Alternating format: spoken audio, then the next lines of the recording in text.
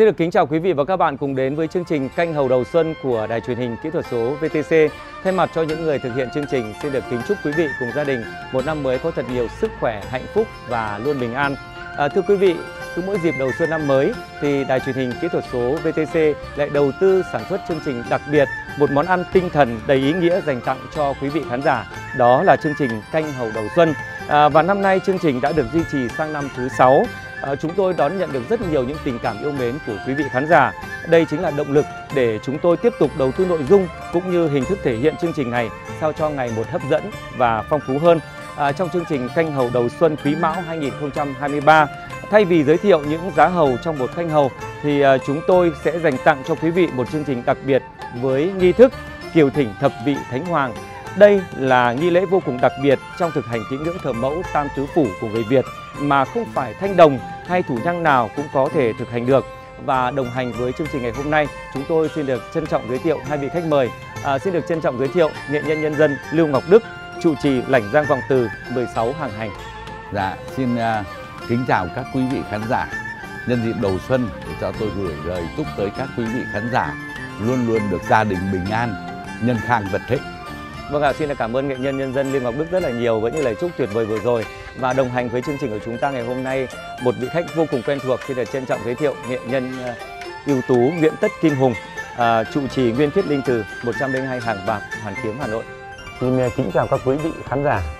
Đầu xuân năm mới, năm Quý Mão Niên, tôi xin có lời kính chúc toàn thể các quý vị khán giả cùng gia đình một năm mới được cát bảo bình an, thân tâm khang thái, gia đạo được nhân khang vật thịnh. À, vâng, lời đầu tiên xin là cảm ơn hai vị khách mời đã nhận lời mời tham gia với chương trình đặc biệt của chúng tôi ngày hôm nay. Và trước khi đến với chương trình thì xin mời hai vị khách mời cũng như quý vị khán giả cùng theo dõi một phóng sự mà chúng tôi mới thực hiện. Từ ngày 28 đến ngày 31 tháng 10 năm 2022, tức mùng 4 đến mùng 7 tháng 10 âm lịch, tại di tích Đền Cả, phường Trung Lương, Ủy ban nhân dân thị xã Hồng Lĩnh, tỉnh Hà Tĩnh đã tổ chức khai hội Đền Cả, dinh Đô Quan Hoàng 10 năm 2022. Đây là một trong những lễ hội đã tồn tại từ hàng trăm năm qua và được người dân duy trì và lưu giữ đến ngày nay.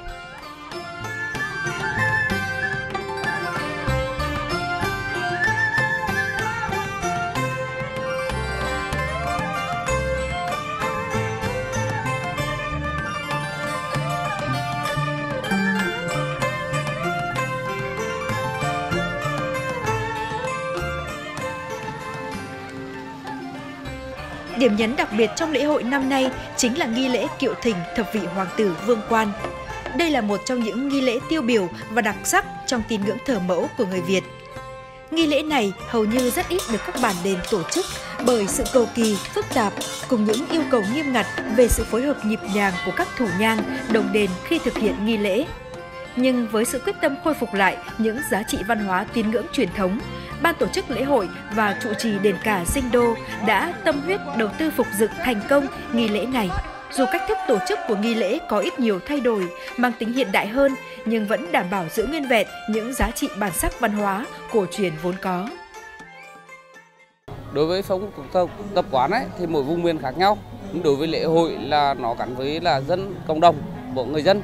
Thì đối với lễ hội thì từ trước tới giờ thì mình phải khôi phục và tìm hiểu. Nó có từng giai đoạn và rút ra nhiều cái kinh nghiệm.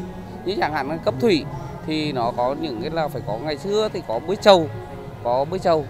Khi này mình là nước cấp thủy về, nhưng từ cấp bơi trầu thì nó trên cái sông nước cũng không được an toàn, thì lại là bỏ mất cái bơi trầu. Nhưng mà là mình vẫn đảm bảo được là phải dùng những cái cano hiện đại hơn để cho đảm bảo được về cái độ an toàn trên sông nước. Lễ hội đền cả Dinh Đô ông Hoàng Mười với phần kiều thỉnh thập vị hoàng tử vương quan được đánh giá là vô cùng đặc biệt. Bởi đó là sự kết nối các thanh đồng, đạo quan, kết nối các đồng đền bản hội ở cả ba miền Bắc, Trung, Nam. Những người con của mẫu lại có dịp về cùng một mái nhà chung. Thực à, ra tất cả các à, chương trình và các đại lễ kiều thỉnh cũng đã có từ lâu đó là do các cụ ngày xưa để lại như qua một thời gian gián đoạn và cũng đã rất từ lâu rồi cũng rất là hiếm. Đây là một cái đại lễ kiều thỉnh à, thập vị hoàng vương à, cũng như là cái cái à, lễ kiều thỉnh này nó tái hiện lại cùng một lúc coi như là có 10 vị quan hoàng. Cánh tiệc mà hoàng 10 hàng năm là mùa đông và ngày mùng 10 tháng 10 là cánh tiệc Đức Thánh Hoàng bản đền mà năm nay ông Đồng ở Dinh Đô đền cả này đã được khánh thành đền ông. Mà mời anh em chúng tôi về được hầu loan giá làm thập vị hoàng tử thì rất là mừng.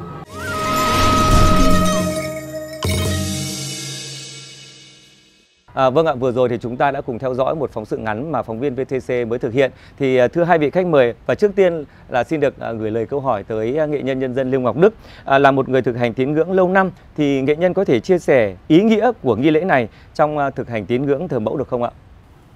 À, kính thưa các quý vị khán giả thì như chúng ta là đối với cái tín ngưỡng mà hầu mẫu tam tứ phủ này nó đã quá quen thuộc với người Việt Nam chúng ta vì cái tín ngưỡng này nó là cái tín ngưỡng bản địa mà nó thể hiện được cái tinh thần yêu nước, lao động, sản xuất, rồi tự hào, non sông, gấm vóc.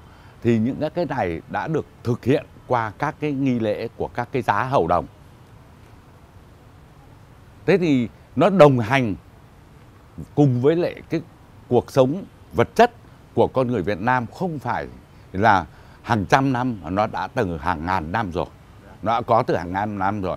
Thế và cái tín ngưỡng này nó tiềm ẩn nhiều cái nét đẹp nhân văn. Nhưng mà đặc biệt là khi mà chúng ta thực hiện cái tín ngưỡng mà hầu đồng, thì lúc bấy giờ nó mới thể hiện, toát ra được một cách tổng thể, toàn diện. Qua cái gì? Qua những cái vũ đạo, qua y phục, rồi qua đàn hát để tưởng nhớ lại tất cả cái công lao to lớn của các cái vị tiền bối. Nó thể hiện được cái đẹp của con người Việt Nam, tức là một con người rất là có trước, có sau, là vì quan niệm của người xưa ấy, là lúc sống thì các vị đánh giặc, rồi là khai làng, lập ấp, có công đối với nước, đối với dân, thì lúc thác sinh đi, các vị cũng là thần thiên, luôn luôn đồng hành cùng với đất nước cùng với nhân dân để bảo vệ cái cuộc sống phù hộ cho nhân dân được ấm no hạnh phúc quốc thái dân an. À, vâng ạ, chúng tôi rất là muốn lắng nghe thêm ý kiến của nghệ nhân Nguyễn Tất Kim Hùng ạ. nghi lễ kiều thỉnh thập vị hoàng tử vương quan là một nghi lễ trong ờ, tín ngưỡng thờ mẫu tam phủ người Việt và trong đó là có nghi lễ hầu đồng. Thì hầu đồng cũng như là vừa nghệ nhân nhân dân Lưu Ngọc Đức đã vừa nói về vấn đề nghi lễ hầu đồng rồi. Thì trong nghi lễ đấy thì sẽ có những là cái hình thái rất là phong phú và đặc biệt. Tức là đặc biệt hơn trong cái nghi lễ hầu đồng này là có lễ kiều thỉnh. Tức là lễ kiều thỉnh ờ, là một lúc có thể là ừ, nhiều ờ, thanh đồng cùng hầu trong một lúc được. Đấy là ờ, nhất là cái vùng miền là trong miền vùng vùng miền Trung, miền trong, nhất là trong vùng Huế, thì là họ tổ chức những nghi lễ hầu đồng, là hầu đồng chúng ta cứ gọi là hầu đồng tập thể, tức là nhiều người hầu đồng cùng một lúc nhưng nghi lễ kiều thỉnh là có thể là nhiều ông đồng đền hoặc nhiều các vị thanh đồng thủ nhang trụ trì các cung đài sở điện cùng nhau là, gọi là chúng tôi gọi là tập phúc minh tường, là cùng hầu loan giá ngựa đồng cùng một lúc nhưng lại là nhiều giá thánh. Tháng 10 âm lịch năm vừa rồi thì à, tại đền Dinh Đô, quan hoàng 10 có một nghi lễ là nghi lễ kiều thỉnh thập vị hoàng tử vương quan, tức là 10 ông hoàng đại diện cho hàng tứ phủ. 10 ông đồng đền sẽ cùng nhau cùng hầu một lúc cùng phủ khăn một lúc. Đấy và cùng tung khăn một lúc.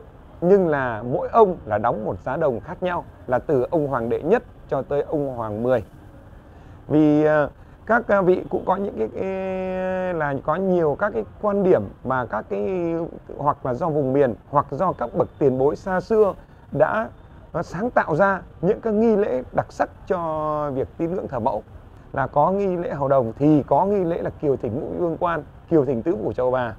Thì đấy là do sự sáng tạo của các bậc thanh đồng tiền bối. Đây là cái sự là để nguyện cầu cho quốc thái dân an, cho thế giới hòa bình và để cho chúng nhân được cát khánh và cho đạo pháp của chúng tôi. Đấy, và tín ngưỡng chúng tôi ngày được một hoàng dương.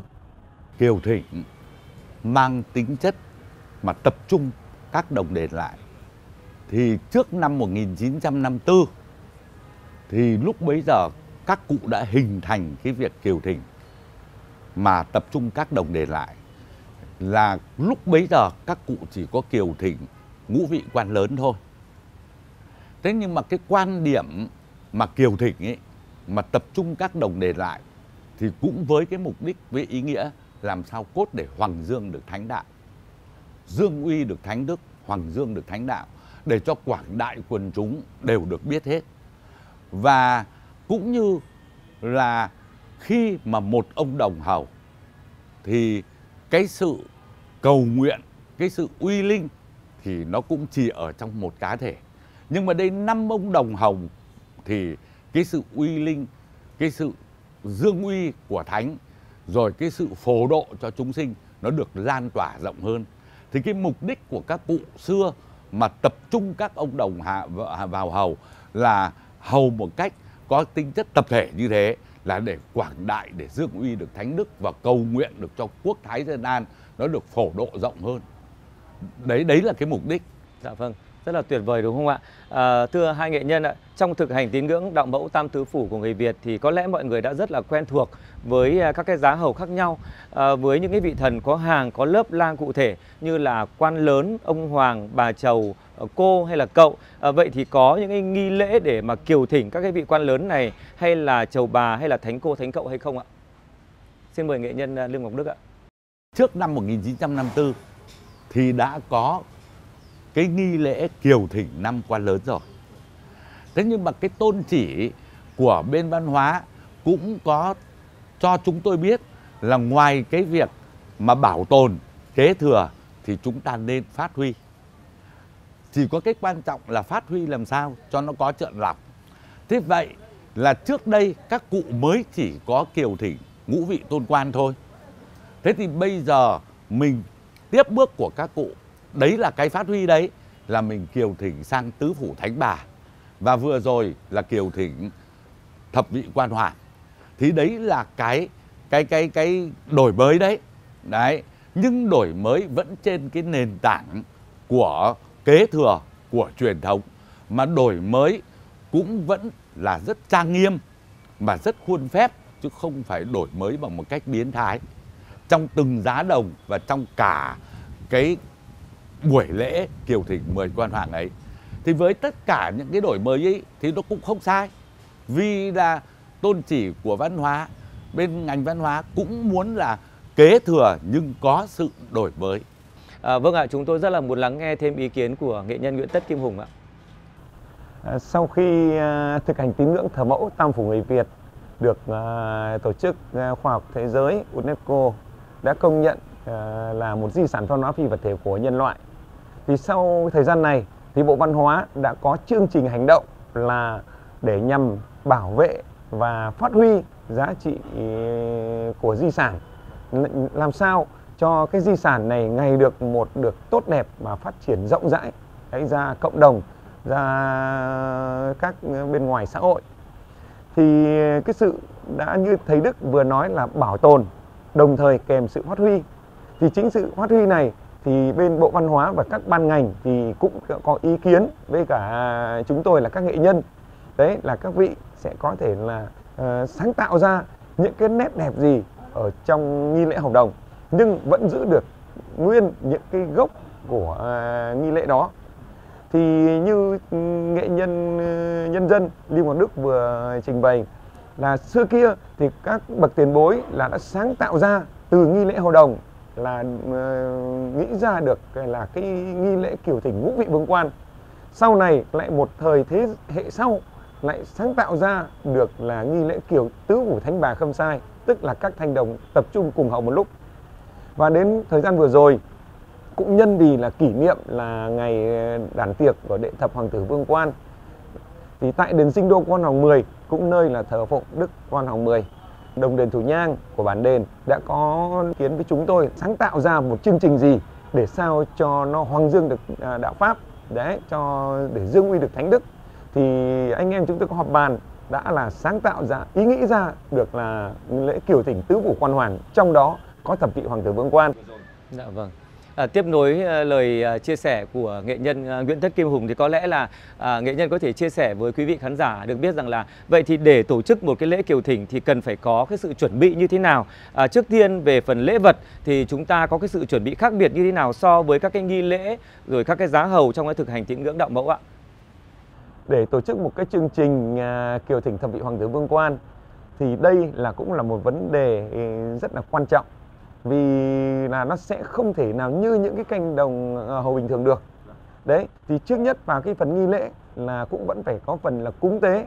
Đã vẫn cung thỉnh, giấy sớ văn bài là xin để kiều thỉnh, là thập vị vương quan, chắc dáng dương đồng cho 10 ông đồng đền. Đấy, và sự chuẩn bị trước khi vào hành lễ này thì là có là phải rất là quy mô. Ví dụ như một thanh đồng bình thường, hầu thì có thể hầu trước ừ, ờ, bàn loan từng nơi phụng sự công đồng tứ phủ đấy nhưng là riêng riêng kiểu thỉnh vương quan nó lại không phải có một bàn loan mà nó phải là 10 cái bàn loan cũng đầy đủ gương hương đăng họ uh, ờ, hương đăng trên một cái bàn giống như một cái bàn loan nhưng lại ngồi là ngồi trên ghế cao chứ không phải ngồi ở trên sập trên chiếu hầu. Đấy là và hơn nữa cái sự chuẩn bị là nó phải quy mô hơn là một chỗ là 10 ông đồng đền này phải tổ chức chương trình làm thế nào để khi mà 10 ông đồng cùng trùng khăn một lúc cùng tung khăn một lúc thì phải làm thế nào? Đấy dùng hình thức gì để cho nhận biết ra để 10 ông đồng ngồi trong khăn là phải định hình ra được định thần ra được để cùng tung khăn và cùng trùm khăn? Và cùng lúc nào ông đồng nào vào trước ông đồng nào vào sau và tế lễ thế nào để cho phù hợp thì đấy là phải có sự chuẩn bị và chưa nói đúng là phải có sự tập thành trong nghi lễ. À, vâng ạ, chúng tôi rất muốn lắng nghe thêm những ý kiến của nghệ nhân nhân dân Lưu Ngọc Đức ạ. Như tất cả các vị đã biết rồi, hầu đồng bình thường. Cứ một người hầu thì một người ý là chủ động tất cả các việc.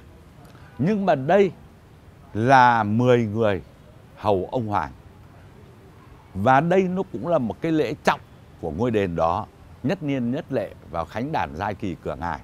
Vậy thì trong cái việc kiều thỉnh mời ông Hoàng này thì chúng tôi phải có sự chuẩn bị rất kỹ lưỡng và nhiều cái chi tiết là mượn của cái lễ hội sang. Cái lễ hội là cái gì? Là cái rước. Bây giờ không thể để cho các ông đồng 10 ông mà đi lẻ tẻ vào. Vậy là cái lễ ý nó thuộc nghi lễ của lễ rước. Cho nên rằng là có tàn, có tán. Thế rồi có người tùy đi theo. Đấy, người tùy đi theo. Thế thì vậy một cái lượng người đông như thế từ thanh đồng cũng đã là 10 người mà từ những người đi tùy theo nó phải vài vài chục người nữa cho nên phải có sự chuẩn bị cực kỳ là kỹ lưỡng đấy, cái người mà hầu một mình một vấn hầu cũng đã phải chuẩn bị kỹ lưỡng rồi. Vì các cụ dạy ngày xưa, thị thánh như thị vương, thị giả cho thánh như thị giả vua, phải hết sức kỹ lưỡng. Huống chi đây 10 người thì lại phải chuẩn bị kỹ lưỡng đến như thế nào. Và có những cái nghi lễ như là nghi lễ để rước hội, vì nó có bát biểu tàn lọng, cờ quạt. Thế rồi người chính, thế rồi người tùy. Đấy, cho nên đấy là cái phải chuẩn bị rất kỹ lưỡng. Tiếp theo là 10 người thì phải có cái sự đồng bộ với nhau. Tất cả là tùy vào ý của thánh. Chứ chúng tôi cũng không bảo là phải tập luyện gì đâu. Nhưng mà cũng có phải cái sự thống nhất, cho nên phải có sự chuẩn bị rất kỹ lưỡng. Lúc vào như thế nào, lúc ra như thế nào, mà từ đầu đến cuối phải nghiêm trang như thế nào. Đấy, thì cái sự chuẩn bị kỹ lưỡng như vậy là cái điều bắt buộc và nó cũng là một cái điều khẳng định được được 80% sự thành công. À, vâng ạ, thưa nghệ nhân Nguyễn Tân Kim Hùng ạ, à, nghệ nhân có thể chia sẻ cho quý vị khán giả hiểu rõ hơn về cái lớp lang để có thể thực hiện được cái nghi lễ kiều thỉnh hay không ạ? Khi làm lễ kiều thỉnh thập vị hoàng tử vương quan, tức là người chúng tôi gọi là thập vị hoàng vương, thì trước nhất là cũng như trước đã nói là phải chuẩn bị cái sắp xếp trong cái đàn lễ đàn tràng sau đó phải cúng tế hành lễ thì chúng tôi còn là có là một cái nghi lễ là rước các nghi trượng để rước cung thỉnh là các thanh đồng bước vào đoàn giáo phụng hành. Thì để uh, thực hiện thành như đúng một vấn đồng là đầu tiên là phải là hầu tam tòa thánh mẫu. Sau khi hầu mẫu thì tới là hầu quan lớn. Thì quan lớn thì chỉ đại diện hầu một giá quan và đại diện hầu một giá chầu. Thì uh, trong ban tổ chức uh, thực hiện nghi lễ này thì chúng tôi đều là, xin là có lời là thỉnh mời nghệ nhân nhân dân Lưu Ngọc Đức, trụ trì đền Lãnh Giang à, Vọng Từ thuộc 16 hàng hành quận Hoàn Kiếm, thành phố Hà Nội, là sẽ loan giá đầu tiên. Là thầy Đức sẽ hầu là giá mẫu tam tòa. Sau đó là hầu giá một giá quan lớn đệ nhất, đại diện cho hàng các quan lớn.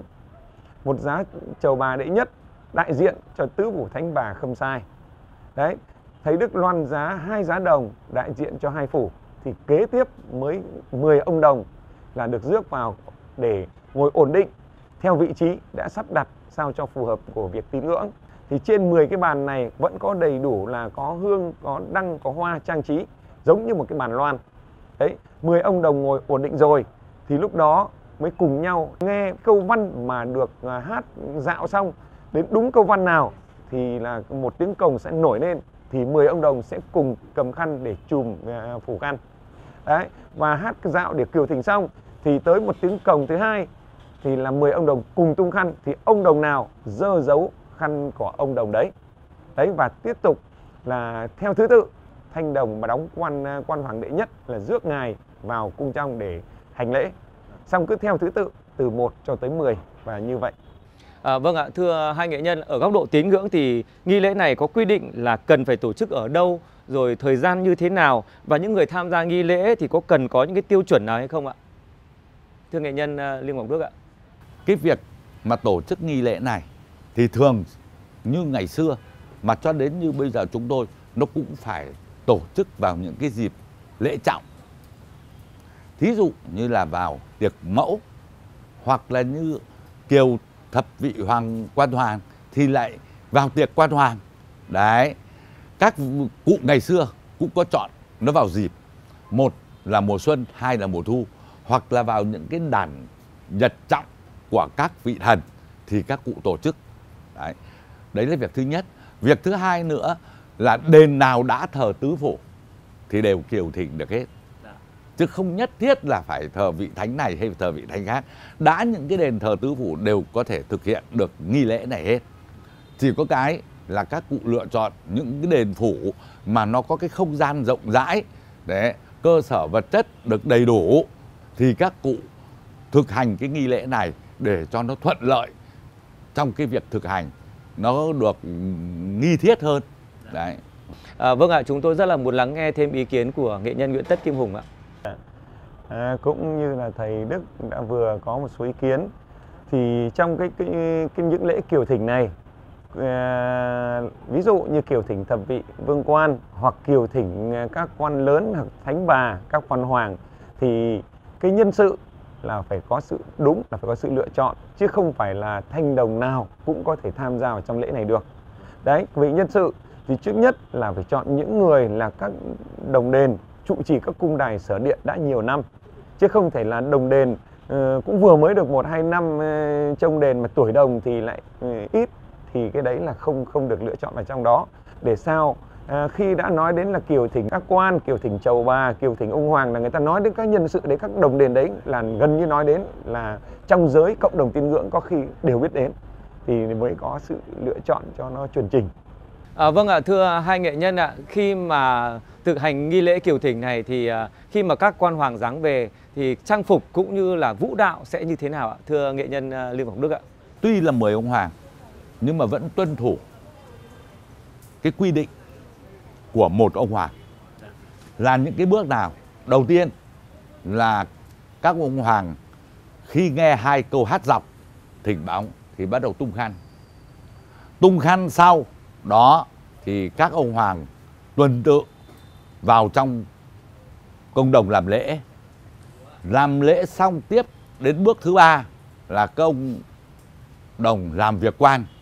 Tức là hoặc là cưỡi ngựa là múa hèo, hoặc là đề thơ, đấy, hoặc là múa cờ, vân vân. Và sau khi làm việc xong thì là các ông hoàng ra ngồi tọa ngự, hiến tiểu hiến trà, rồi là phát lộc, ban tài phát lộc cho thập phương. Và sau đó nghe một hai câu văn để chúc thánh chúc thọ và các ông hoàng. Tất cả là đồng thời xe giám một lúc. Thế thì dù hầu có 10 ông hoàng nhưng mà vẫn theo một cái quy trình của một giá đồng rất là chắc chắn rất là chặt chẽ.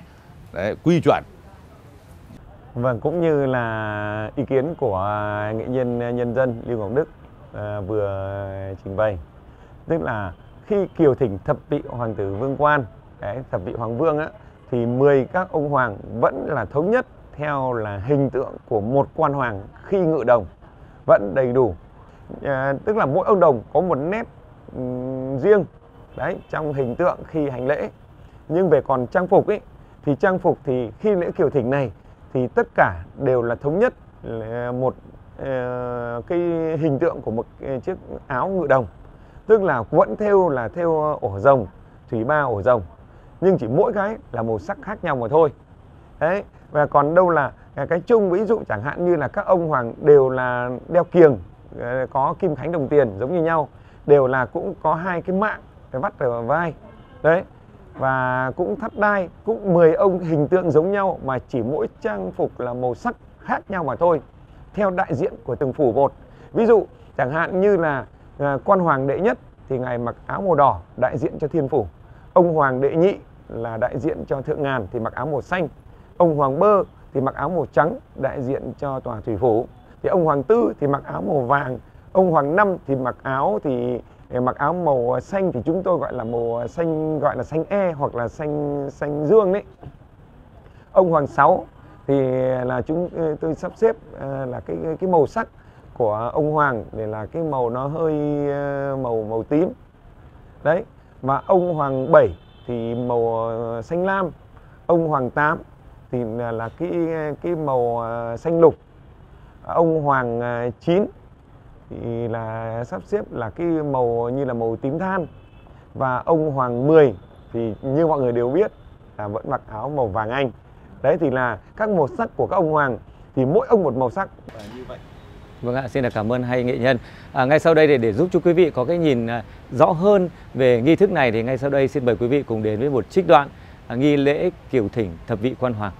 Thập vị hoàng vương thông minh chính trực khác thường ở trần gian hầu cận vua cha đêm ngày hầu cận vua cha ban làm thánh như trong tam tòa, ngoài tư tiền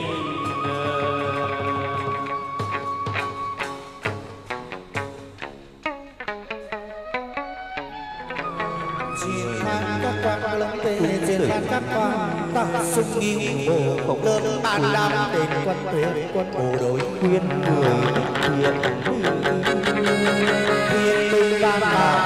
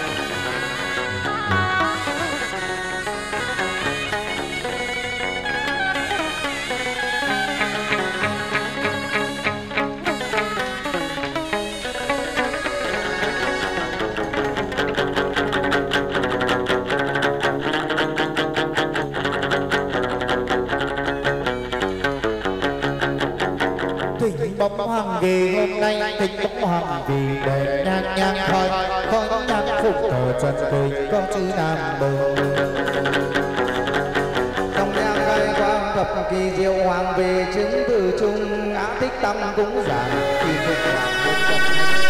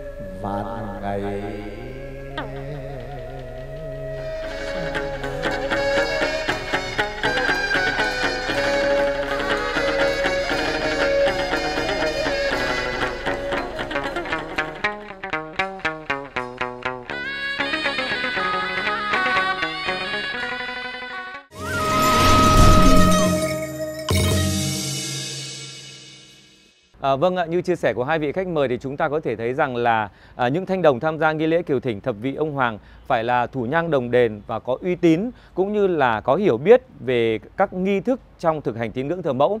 À, điều này cũng thể hiện sự đoàn kết chung một niềm tin của những người phụng thờ thánh mẫu và nghi lễ này thì không phải lúc nào cũng có thể diễn ra được. À, vậy thì thưa hai nghệ nhân, à, chúng ta cần có những hoạt động, những cái phong trào nào khác để có thể là duy trì kết nối sự đoàn kết của cộng đồng những người thực hành đạo mẫu à, cũng như là có thể là lan tỏa những giá trị tốt đẹp của đạo mẫu ra toàn xã hội ạ. Xin mời nghệ nhân Ngọc Đức ạ.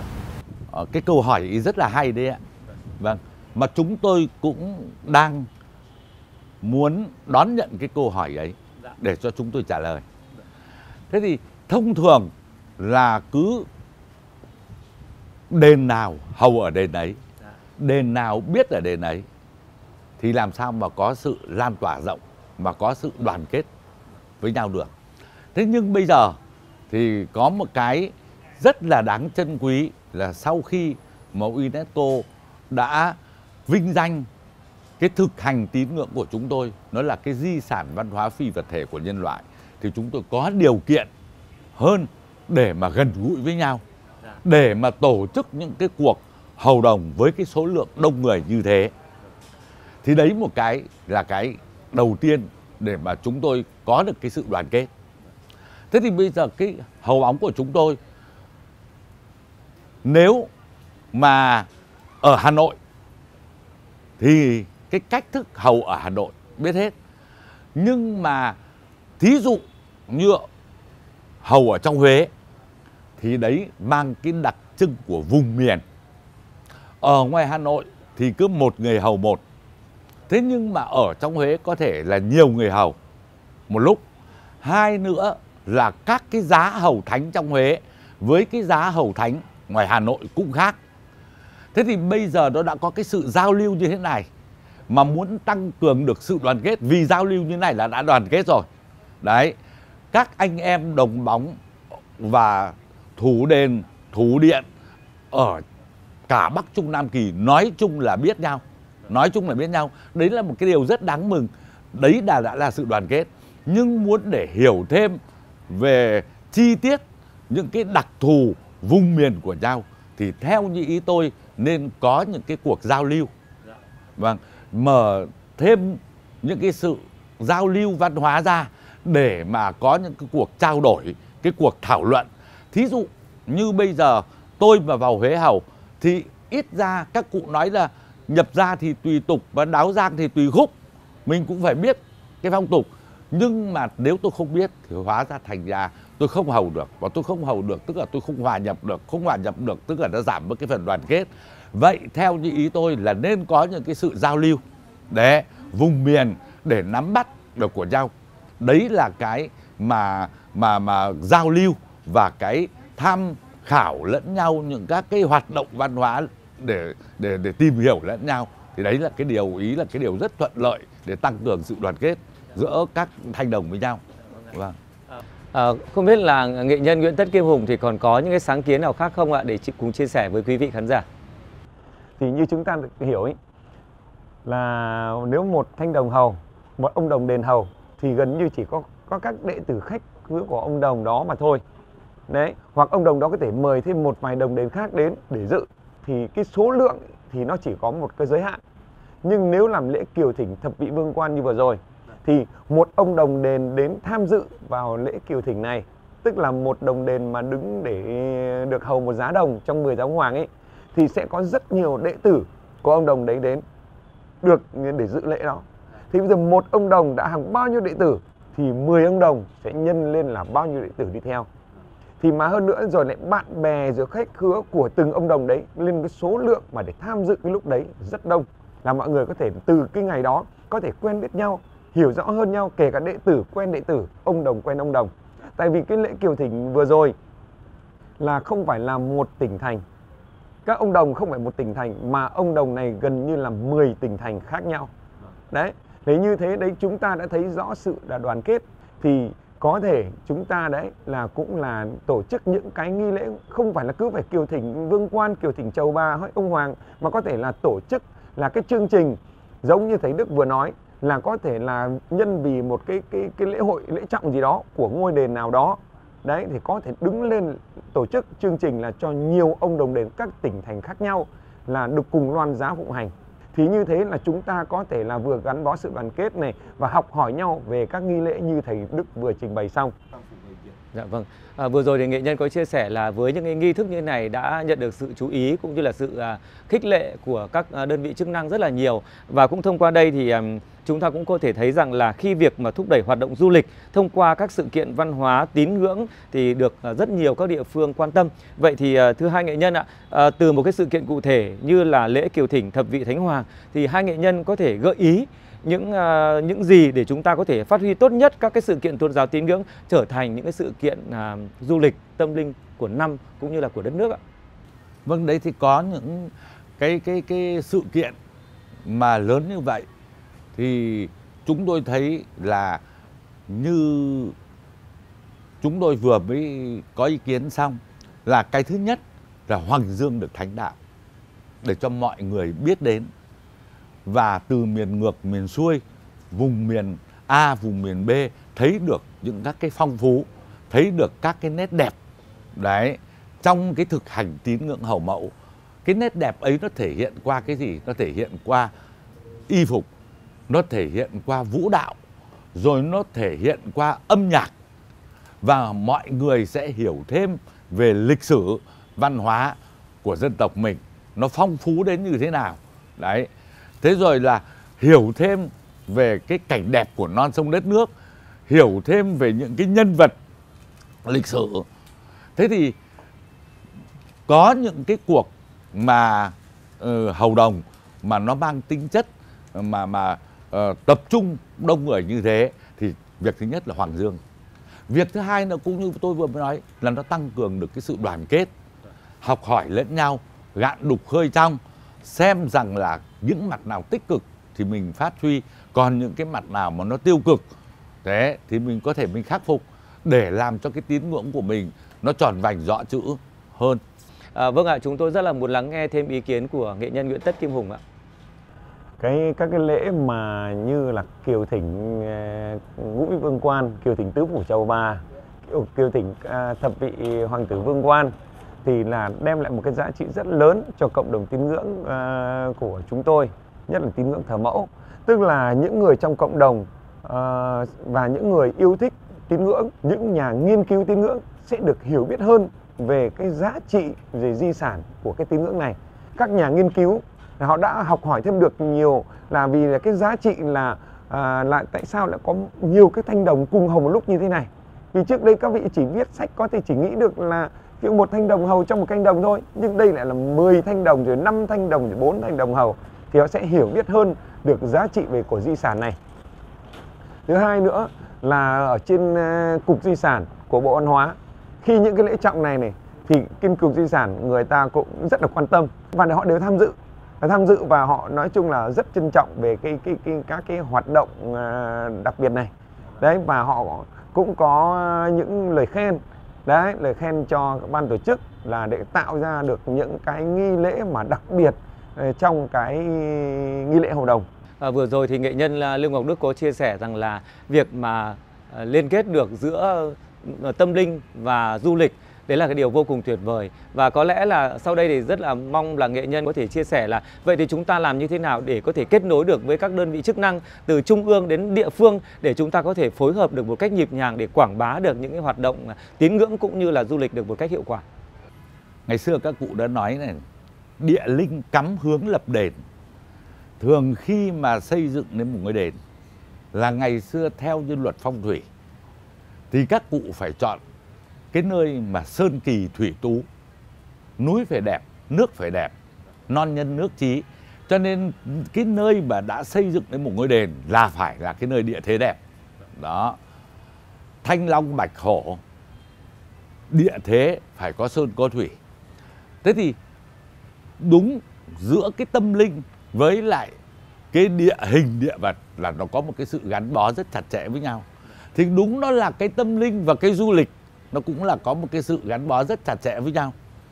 Thế thì người đi lễ người ta đến đấy người ta còn được ngắm sơn ngắm thủy.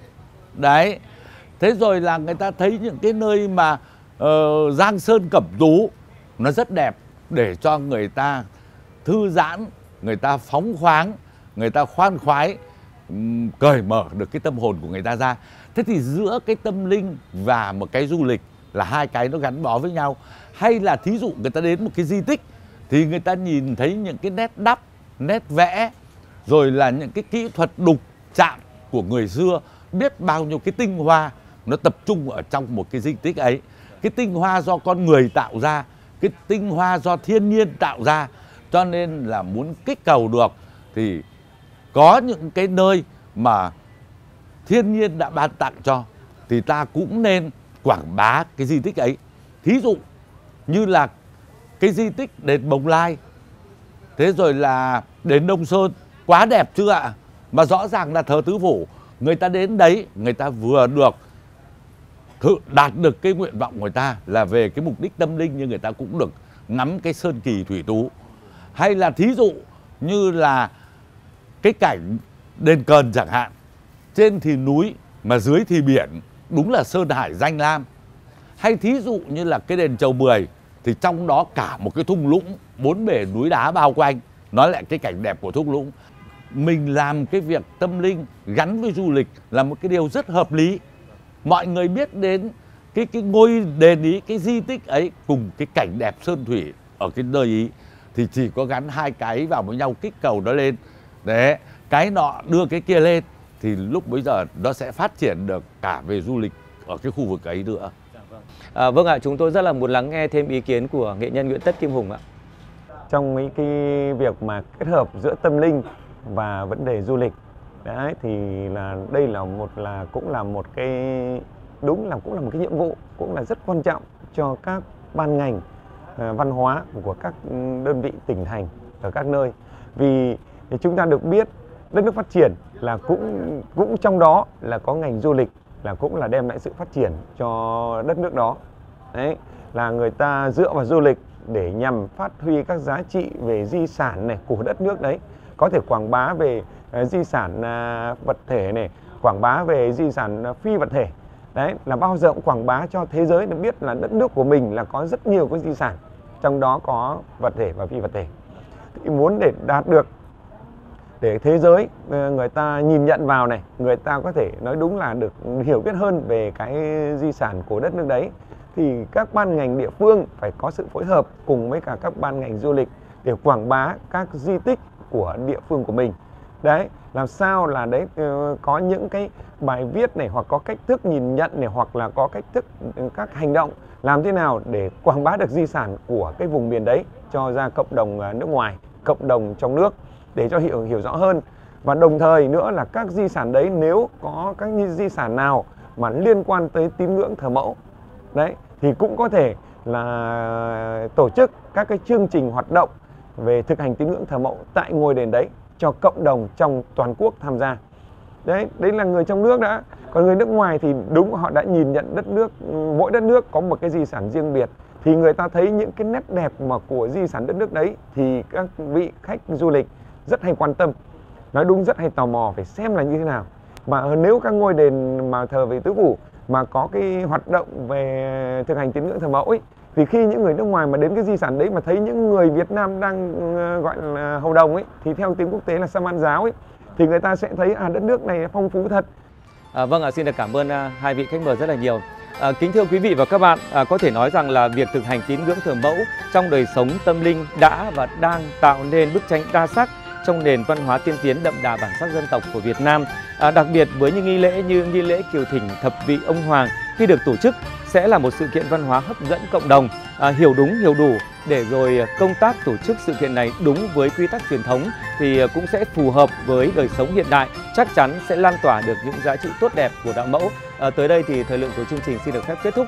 Một lần nữa xin là cảm ơn hai vị khách mời đã nhận lời mời tham gia với chương trình của chúng tôi ngày hôm nay. Cảm ơn sự quan tâm theo dõi của quý vị và một lần nữa thay mặt cho những người thực hiện chương trình chúc quý vị một năm mới sức khỏe, hạnh phúc, an khang và thịnh vượng.